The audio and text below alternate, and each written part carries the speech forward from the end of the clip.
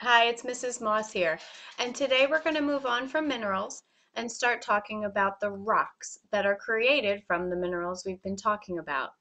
We're going to start with igneous rocks. Igneous rocks that gets its name from the Latin word ignis, which means fire, and it's named that way because these rocks originate from molten lava and magma.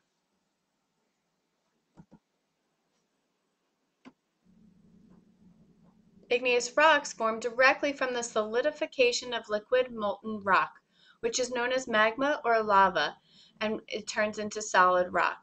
Now, the difference between magma and lava, for those of you who don't know, is uh, magma is under the ground. It's the lava that's under the ground. When it comes out of the earth, as in volcanic eruptions, we call it then lava. So it's the same material, it's just one's under the ground and one's out of the ground. Crystallization is a process that occurs when molten lava or magma cools and forms a solid rock that's composed of intergrown mineral crystals. This is a picture of biotite mica and it um, potassium feldspar and quartz. These are the minerals that we've actually learned about the other day. Now these minerals make up this igneous rock. You can see they're known as crystals in here. You can see the black and white specks.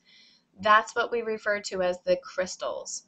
Okay, and we're going to be talking a lot more about that in the next slide. Here's a picture of it up close, microscopic view and we have the different shapes. These are the different interlocking crystals that create this beautiful igneous rock. So how do we classify igneous rocks? Well, there are two characteristics that we use to classify the rocks, and that will be texture, which is the size of the mineral crystals, and the mineral composition. And we're going to look at that a little bit more closely in the next few slides. So let's talk about texture. We said that texture is the size of the mineral crystals. And if you look at these two pictures on either side, some have obvious black and white specks and other looks more of this like all the same color. Well, the one that's all the same color, this tan color, we would say that that has fine to small crystals because they're so small, they almost the color almost blends together. Whereas on the right-hand side, we see that same picture that I showed you before with the larger crystals, the biotite mica, the potassium feldspar. That's really obviously there as black and white pieces. So those are known to have a coarse or a large uh, crystal. Now, the size of the mineral crystal will depend upon the rate at which the magma or lava will cool. Slow cooling gives us those coarse or large crystals that we see up in the top right corner. Fast cooling gives us fine or small crystals that we see in this left-hand picture. So the environment of formation is very important. Rates of cooling depend upon where the rock solidifies, where the lava solidifies. We know that's what's known as the environment of formation. Okay, so the rocks that are, the lava that's hardened out um, in the ground is intrusive. It forms inside the earth. And notice we blacken the words in and in from those two words so you can link it in your mind and remember it a little bit easier. Intrusive rocks have, is when the lava forms and hardens inside the earth, well, the magma. And it forms when um, it cools slowly so that it has time to form these large crystals. And here's a picture of large crystals. Uh, this had to have been formed under the ground as magma hardening because we can see those large crystals. Here's that picture again. Here's another picture of gabbro that has large crystals. Okay, that we also have lava hardening outside of the earth, and these igneous rocks are known as extrusive. Again, they form outside of the earth or on the earth's exterior. So again, we blackened out the EX in both of the words just so you have something to help you remember. Um, and it forms when molten rock flows out of the earth as lava and it cools rapidly to form fine crystals. So if the cooling of the lava is extremely fast, no crystals will have time to form, and the result is a rock with no minerals and a glassy texture. Okay, if you need to pause to copy these down, that's fine, go ahead. I'm going to keep going with our slideshow. Here's a picture of a volcano erupting and that lava will harden and form an igneous rock. Now how fast or cool that it, um, how fast that it cools will determine um, the size of the crystals. Here's another lava flow. Okay, these are just some really cool pictures of rocks that have formed so fast that they don't have large crystals, they have very, very small crystals. I wanted to get to this slide because this is the glassy texture example known as obsidian. And it really just looks like black glass. We're going to show it to you in class, but what you'll see is there's absolutely no other crystals involved in it. There are minerals in it too that are not just, it's not just one uh, mineral, it's a series of many minerals, but it creates this black glassy texture. And that's all because it was formed so quickly and it, the lava hardened so quickly that it um, it didn't have time to grow other crystals. So it came out as like this one glassy, it looks like glass, really. It's pretty cool. So extrusive igneous rocks may also exhibit what's called a vesicular texture, and these are rounded openings or air pockets, and it's formed from lava solidifying around an escaping gas bubble. So literally when lava gets gas bubbles in it, they form these little holes or pockets of air. I'll show you a picture. Right here, we have vesicular basalt.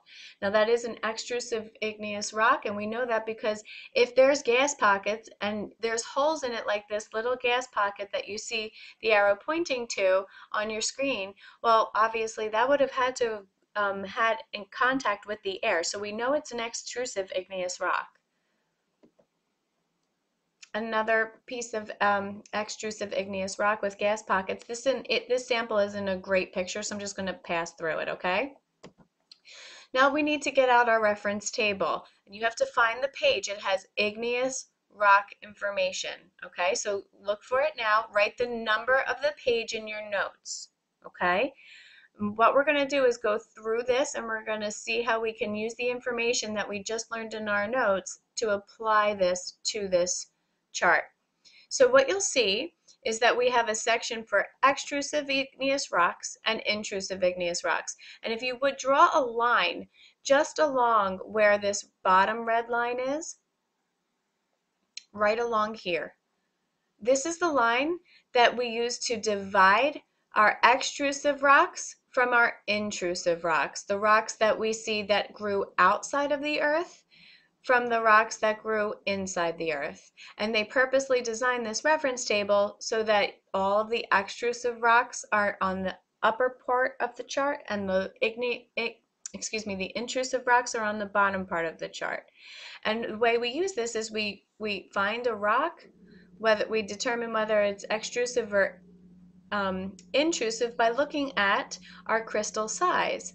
So if you look, we see the texture glassy or fine, we just learned that when it's glassy or fine texture, then it had to have grown outside of the earth, right? It had to cool fast so that it didn't have time to grow those large crystals.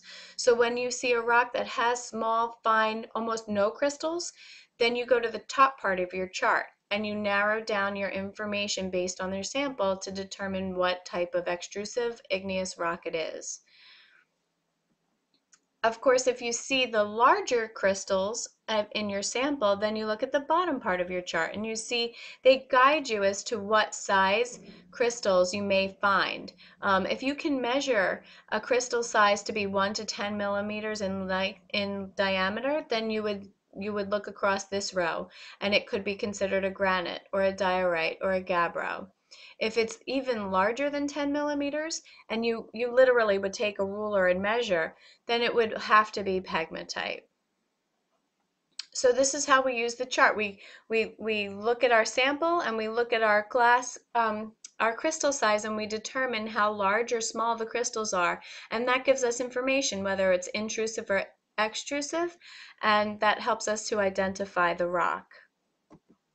So in summary, we have intrusive and extrusive rocks. They form either below the surface or at the surface. The rate of cooling is either slow or fast. Large crystals or small crystals, magma, or lava. So take a moment and copy that down. Hit pause if you need to. The next classification, the next way that we classify um, igneous rocks is based on its mineral composition.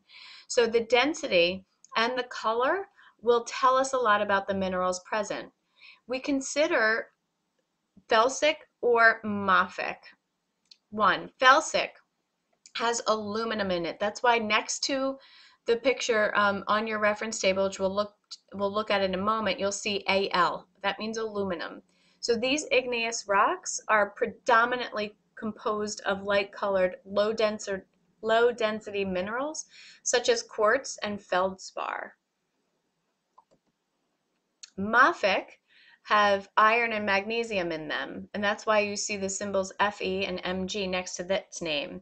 Now these igneous rocks are composed mainly of dark-colored, high-density minerals such as olivine and pyroxene. If you go back to this reference table page, which again, you write down the name of the page in your notes, you will see at the bottom, we're going to look at the division between lighter color and darker color, and lower density and higher density, and mafic or felsic. So they give you the category in the middle, and if it's on this left side, it's lighter with a lower density and felsic material, Whereas if it's on the right-hand side of the chart, it's darker, higher dense, higher density, and mafic, which is rich in iron and magnesium and iron. We're going to stop here for now. I want you to um, get any notes that you missed by hitting rewind and pausing me and going back and looking and filling in any blank spots that you may have missed, okay? Tomorrow we'll talk more about igneous rocks in class and we'll practice identifying them as well. Thanks, and I'll see you next time.